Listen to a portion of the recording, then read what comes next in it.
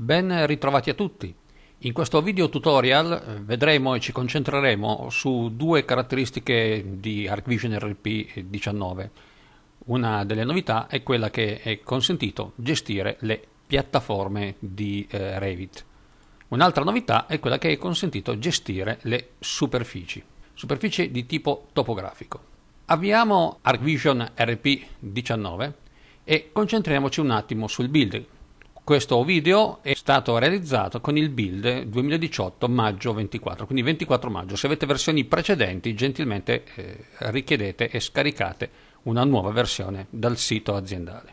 Proseguiamo e concentriamoci subito sulla gestione della piattaforma. Avviamo subito Primus, portiamo in primo piano il listino di esempio, selezioniamo la piattaforma e associamo ad essa una voce di elenco prezzi. Prendiamo il massetto, drag and drop del massetto, gestiamo la superficie, abbiamo trascinato dei metri quadrati, andiamo in descrizione, velocemente nome entità e id entità e in parti uguali andiamo per esempio a prendere dai parametri personalizzati la sua area. A noi serve in questo caso per esempio l'area. Salviamo Chiudiamo e facciamo subito un velocissimo computo. Proseguiamo e vediamo il risultato del computo. L'area di questa piattaforma è di 540 metri quadrati e in effetti sono stati computati 540 metri quadrati. Concentriamoci velocemente su una seconda novità di ArcVision RP19, una delle tante, quella che ci consente di andare a gestire le superfici topografiche ho selezionato questa parte che è la parte in cui Revit va a calcolare lo scavo, il riporto netto, il riempimento e il taglio. Questa situazione è una situazione in cui abbiamo una parte di riempimento e una parte di taglio, con un valore di scavo negativo. Anche in questo caso, ArcVision RP, possiamo gestire le associazioni per famiglia, in questo caso tutto ciò che viene assegnato alla famiglia eh, superficie topografica sarà comune a tutte le superfici presenti nel progetto. Diversamente andiamo a selezionare associa per istanza, andiamo a concentrarci su questo scavo con questo ID.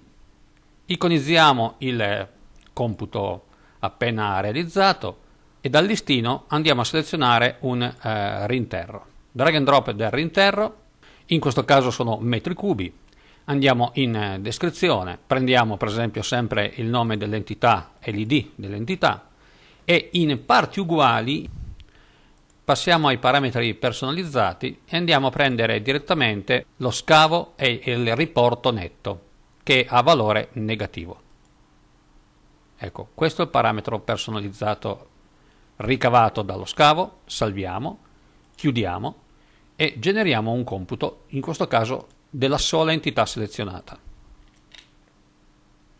E questo è il risultato ottenuto. È una detrazione, quindi è in negativo. Facciamo una verifica e vediamo come sia possibile utilizzare anche più parametri personalizzati accodati tra di loro. Doppio clic sulla misurazione, andiamo in lunghezza e andiamo ad utilizzare un parametro in modo diciamo diverso. Andiamo a creare una formula. Prendiamo il riempimento, gli diamo meno un altro parametro che in questo caso è il taglio,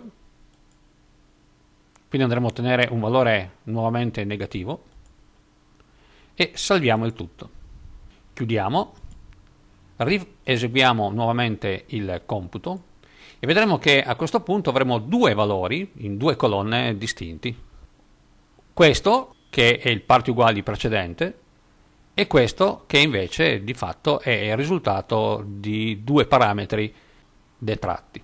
Chiaramente in questo caso siamo sostanzialmente potenzialmente in errore perché abbiamo due valori negativi che sostanzialmente vanno a creare un valore di fatto positivo. Ma questo è un errore voluto.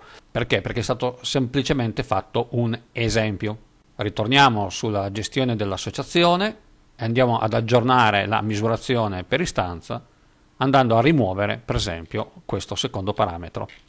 Salviamo nuovamente, chiudiamo, rigeneriamo il computo e vedremo che effettivamente quando il valore è uno solo ed è negativo, Primus va giustamente in detrazione. Concludiamo selezionando entrambe le entità, quindi selezioniamo sia la piattaforma che il eh, terreno. Eseguiamo il computo completo e vediamo come venga gestita contemporaneamente sia la topografia, la superficie col suo ID in negativo e la piattaforma col suo ID in positivo. Si conclude in questo modo questo breve video dedicato alla gestione della computazione delle piattaforme e delle superfici topografiche con incluso il calcolo dello scavo e del riporto. Grazie per l'attenzione e vi demando alle prossime video guide. Saluti Claudio Mussa.